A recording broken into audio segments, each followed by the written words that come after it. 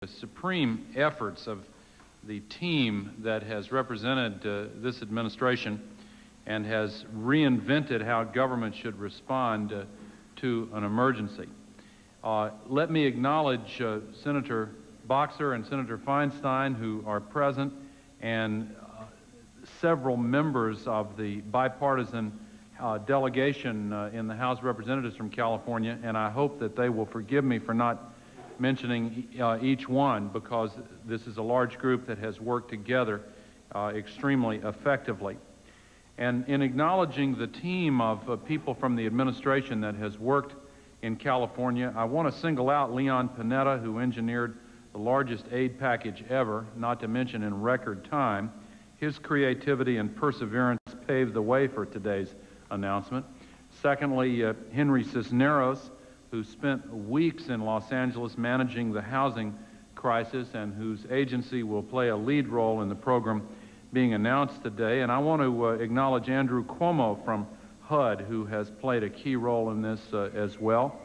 Uh, Federico uh, Pena, who also spent weeks in Los Angeles and has managed the fastest debris removal and new construction contracting process anyone has ever seen in history and James Lee Witt, the tireless team leader who coordinated operations on the ground, got disaster assistance centers open faster than ever before, and quickly got relief funds to those in desperate need.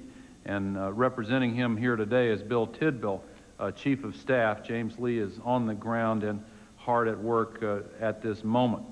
I visited uh, the Los Angeles area last week, if I may say on a personal note, uh, and saw the determination, resourcefulness, and sense of community of the people in this region.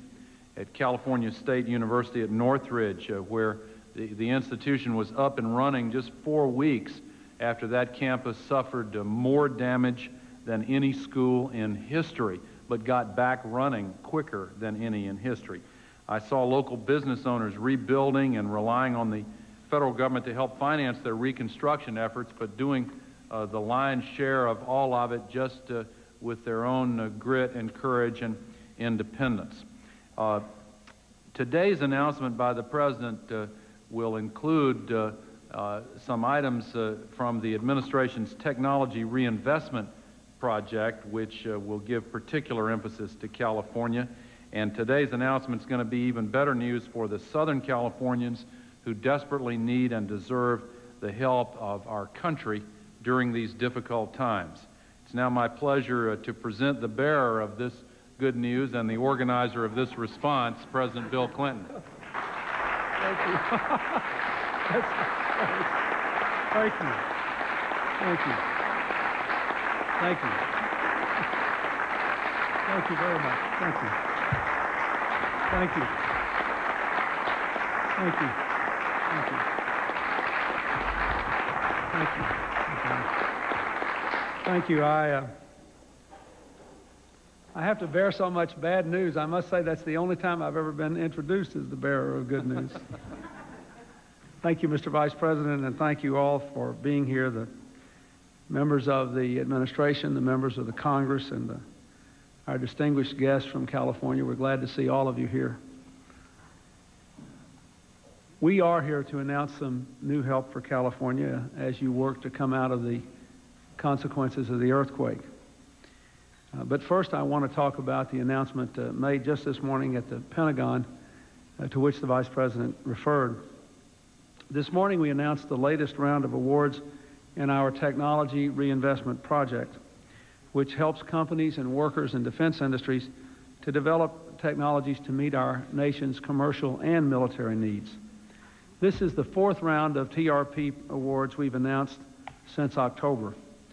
So far, $605 million in competitive federal grants awarded on merit have gone to firms and communities through this innovative program.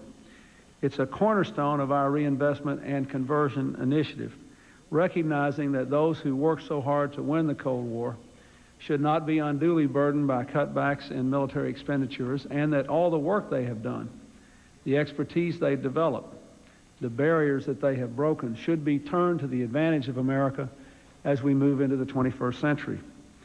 The TRP is of special interest to the people of California because California has been on the leading edge of military technology. And converting this know-how for dual use and commercial applications will help our country move into the next century as the economic leader of the world.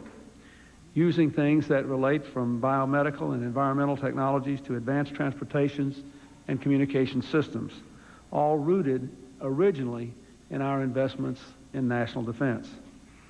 The projects which have been funded are exciting, they're futuristic, they're farsighted, they have potentially enormous beneficial impacts to all the American people. I can't tell you about all of them. We awarded 50 just today, but let me just mention a couple. One involves the Bay Area Rapid Transit System and Hughes Aircraft. Together, they'll develop an advanced automated train control system that will identify the precise location of every train, even those in tunnels. That will allow trains to operate at closer distances to each other, and that means the existing infrastructure can double its rider capacity.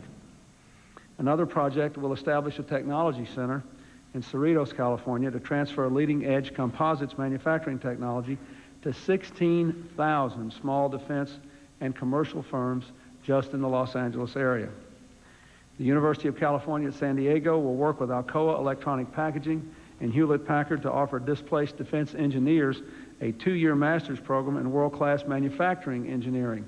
This will emphasize foreign language training and include an internship in international manufacturing companies. The aim, of course, is to help these folks build on their old skills with new learning to keep them vital and employed and to keep our country competitive in the global marketplace. To provide economic opportunity and shore up military strength, and to ensure that the people who won the Cold War won't be left out in the cold. That's what this TRP, the Technology Reinvestment Project, is all about. And that's why I'm proud it's proving to be such a success. Uh, I will say that on the last round of grants, I think uh, California won. Again, I will tell you on a purely competitive basis, uh, almost 40% of the total dollars. And when you consider the fact that when we started this, the state of California, with 12% of the country's population, had over 21% of the nation's military expenditures and has had almost 40% of the base closings, the last two rounds of base closings, and over 40% of the last round of base closings, it is heartening that in the race for the technologies of the future and therefore the jobs of the future, that the whole conversion effort is obviously beginning to work in the way that it ought to work. Let me now say a few words about our continuing efforts to deal with the consequences of the earthquake. In the five weeks since the Northridge earthquake, our administration has worked closely with state and local officials, as all of you know, to try to help families, businesses, and communities. We're working to get the whole region back on its feet again. All of you know what the Vice President has already said, that the, the FEMA Director, James Lee Witt, Secretary Cisneros, Secretary Pena, uh, Mr. Panetta, and many, many others have worked tirelessly to try to deal with the problems that were generated by the earthquake. Immediately after the earthquake, I extended the period for which federal governments paid the entire cost of FEMA disaster assistance and increased from 75 to 90 percent the share paid by the federal government for FEMA public assistance programs. Now, today, we're announcing some loan guarantees which will help to meet the remaining share of, owed by the state of California. Congress has appropriated new funds for FEMA, for the Small Business Administration, for the Departments of Transportation, Housing and Urban Development, Education, and Veterans Affairs to rebuild these homes and businesses, to house the homeless, to repair the highways and bridges, to restore the damaged schools and other facilities. I, I do want to say a word of thanks to uh, Secretary Pena for trying to accelerate the construction process. We stood on one of those totally broken sections of highway, and they said it was going to take a year to fix. I can only imagine how mad the drivers would be. I know how mad the drivers get at me when we stop traffic at one intersection for two minutes here. And I, I multiplied two minutes times whatever the number is to get to one year. And it seemed to me that we ought to try to make the contracts go faster. I thank you for that. Recently, your governor, Speaker Brown, Senate President Pro Tem Bill Lockyer, Mayor Riordan, and other officials have asked if there was any way we could lend California the money they believe is needed to pay the state and local share of the FEMA assistance costs. Today, I am asking Secretary Cisneros to offer loan guarantees totaling more than $500 million to the jurisdictions affected by the earthquake, including the cities of Los Angeles and Santa Monica, Los Angeles and Ventura counties, and other towns and communities which suffered damages. This loan guarantee authority we are extending to local governments will enable them to obtain loans from private lenders at below market rates that will take some of the bite out of the cost of recovery. The assistance will be provided under HUD's Community Development Block Grant Section 108 Loan Guarantee Program. I've asked Secretary Cisneros to work with the local governments to work out repayment terms that meet the needs of local communities. The Secretary is also committed to providing technical assistance in preparing the applications and to expedite the review process. This will ensure that the flow of assistance to those in need in Southern California will continue without interruption. I've asked the federal agencies whenever possible to use their discretionary authorities to waive rules and regulations to expedite the delivery of further assistance. This step today builds on these efforts. It reflects a commitment that our administration has made to the people of California, a commitment to do all that we can to help your people work their way out of this disaster day in and day out until all the work is done. In recent years, the citizens of Southern California in particular have endured multiple disasters from riots to fires and mudslides and now the earthquake. Uh, that's what people around here call a character building experience.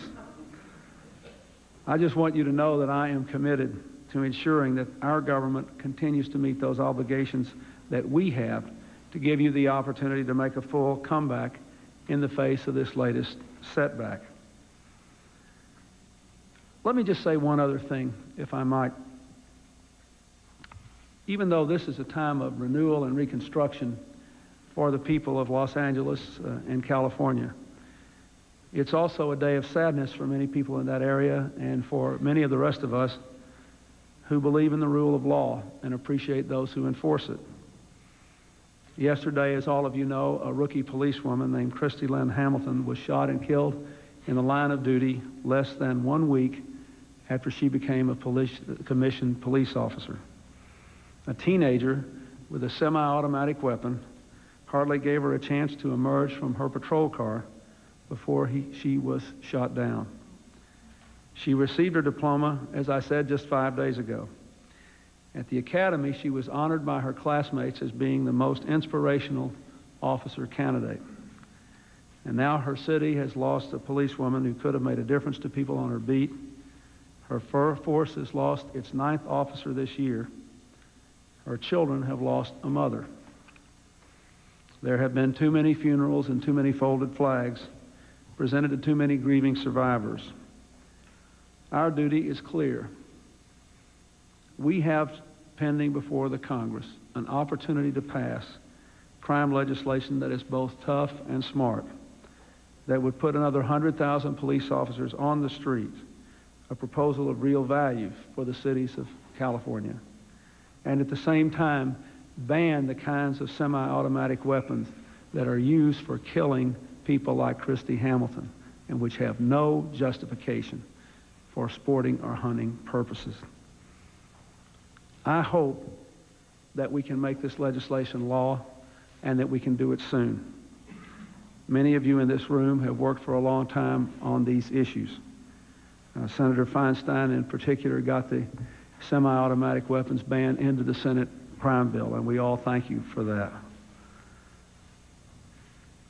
All I can tell you is that we are here primarily to celebrate our coming together to overcome the destructive impacts of an act of God. It is time that we here in Washington mustered the courage and the fortitude to do something to help you also overcome the acts of people that have no basis in law or honor. Not only to honor the memory of Christy Lynn Hamilton and all those others like her we have lost, but to defend the honor of the American people to live together as human beings in a common community. Thank you very much.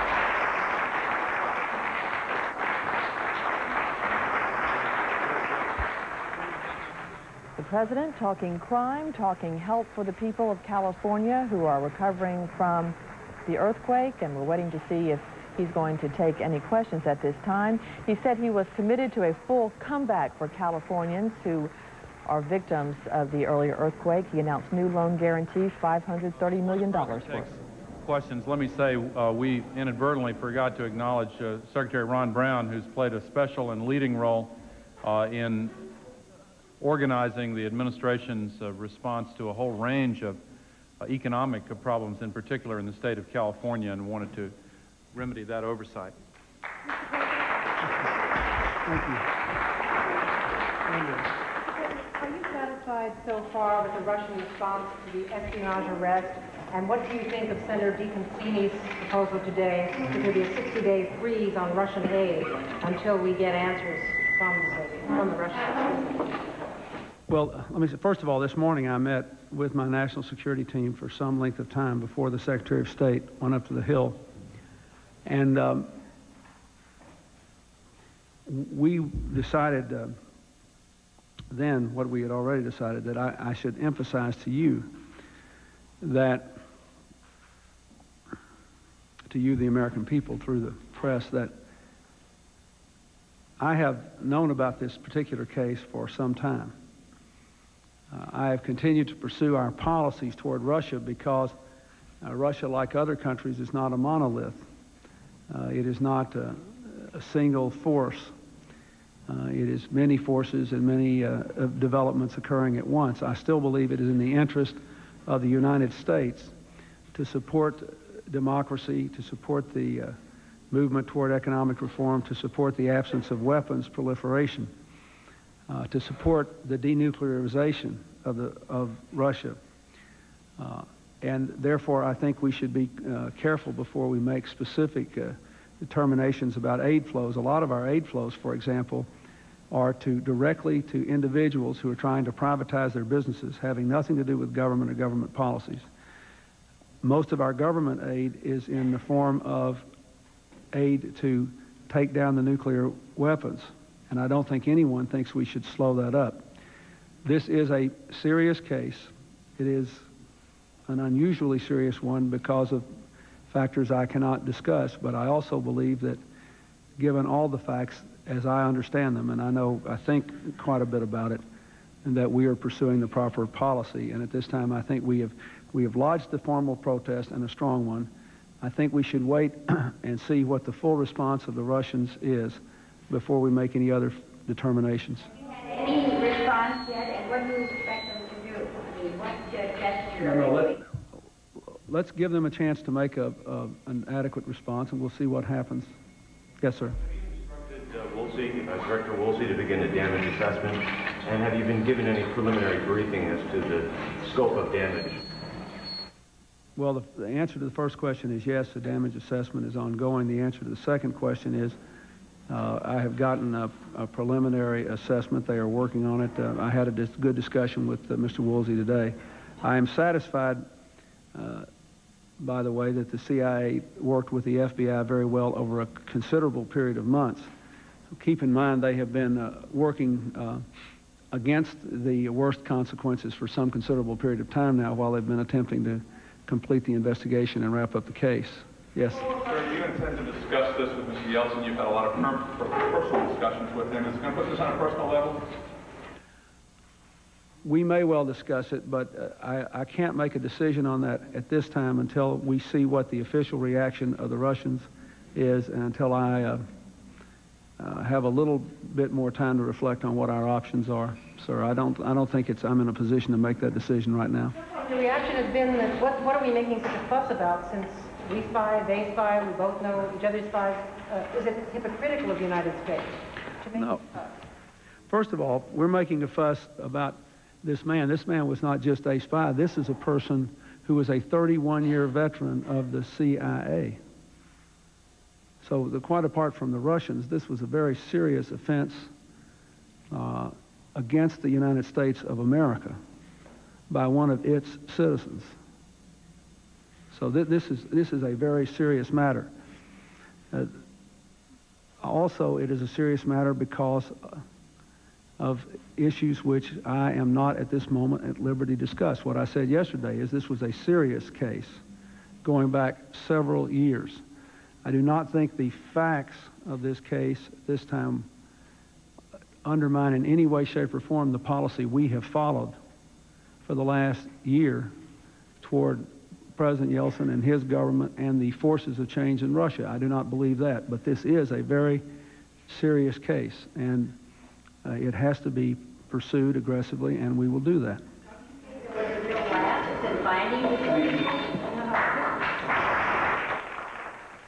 President Clinton wrapping up his live event in the grand foyer of the White House and now probably making the rounds to shake hands like he often does and taking a few questions about the arrest of a CIA employee uh, Monday accused of spying for the Soviet Union and then for Russia.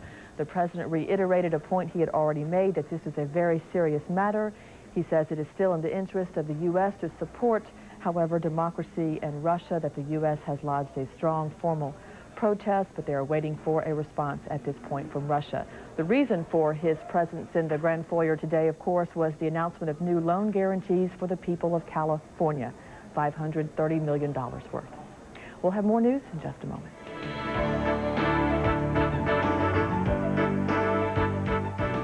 Thank you. Thank you. Thank you. Thank you. Thank you. I, uh, I have to bear so much bad news. I must say that's the only time I've ever been introduced as the bearer of good news. thank you, Mr. Vice President, and thank you all for being here, the members of the administration, the members of the Congress, and the, our distinguished guests from California. We're glad to see all of you here. We are here to announce some new help for California as you work to come out of the consequences of the earthquake. Uh, but first, I want to talk about the announcement uh, made just this morning at the Pentagon uh, to which the Vice those in desperate need. And uh, representing him here today is Bill Tidball, uh, Chief of Staff. James Lee is on the ground and hard at work uh, at this moment. I visited the Los Angeles area last week, if I may say, on a personal note, and saw the determination, resourcefulness, and sense of community of the people in this region. At California State University at Northridge, uh, where the, the institution was up and running just four weeks after that campus suffered uh, more damage than any school in history, but got back running quicker than any in history. I saw local business owners rebuilding and relying on the federal government to help finance their reconstruction efforts, but doing uh, the lion's share of all of it just with their own uh, grit and courage and independence. Uh, today's announcement by the President uh, will include some items from the administration's Technology Reinvestment Project, which will give particular emphasis to California. And today's announcement is going to be even better news for the Southern Californians who desperately need and deserve the help of our country during these difficult times. It's now my pleasure uh, to present the bearer of this good news and the organizer of this response, President Bill Clinton. Thank you. Thank you. Thank you. Thank you. Thank you very much. Thank you. His creativity and perseverance paved the way for today's announcement. Secondly, uh, Henry Cisneros, who spent weeks in Los Angeles managing the housing crisis and whose agency will play a lead role in the program being announced today. And I want to uh, acknowledge Andrew Cuomo from HUD, who has played a key role in this uh, as well. Uh, Federico Pena, who also spent weeks in Los Angeles and has managed the fastest debris removal and new construction contracting process anyone has ever seen in history and James Lee Witt, the tireless team leader who coordinated operations on the ground, got disaster assistance centers open faster than ever before, and quickly got relief funds to those supreme efforts of the team that has represented uh, this administration and has reinvented how government should respond uh, to an emergency. Uh, let me acknowledge uh, Senator Boxer and Senator Feinstein, who are present, and uh, several members of the bipartisan uh, delegation uh, in the House of Representatives from California, and I hope that they will forgive me for not mentioning uh, each one because this is a large group that has worked together uh, extremely effectively. And in acknowledging the team of uh, people from the administration that has worked in California, I want to single out Leon Panetta, who engineered the largest aid package ever, not to mention in record time,